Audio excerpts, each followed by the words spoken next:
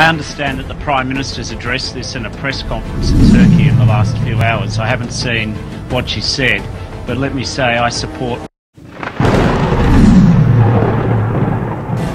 so comprehensively in such a short cancel time. this meeting at six o'clock. We are going Uh, Terry, uh, obviously the government